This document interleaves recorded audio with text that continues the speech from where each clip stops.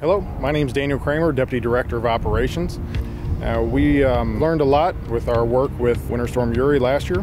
For one, we've increased our amount of sand that we store on site.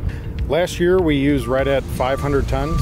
Currently we have over 1,000 tons in our storage for our use this year.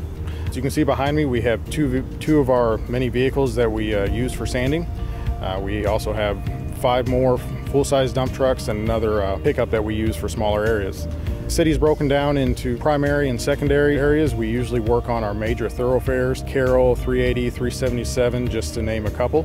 Our goal while sanding those is just to make sure that we are hitting any of the hills, any of the low spots, and the major intersections to make sure that when drivers are out, they can start and stop. We'll have three shifts, three eight-hour shifts running 24-7 uh, during any storm. We do recommend that if you do not need to be out during the winter weather, please don't. Use it only for emergencies.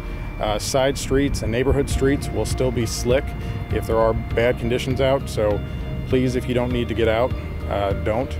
Our goal is to keep the streets passable during these events. We're always looking for better ways to, to improve that, and we'll continue to look at and learn from every event that we have and put that knowledge moving forward.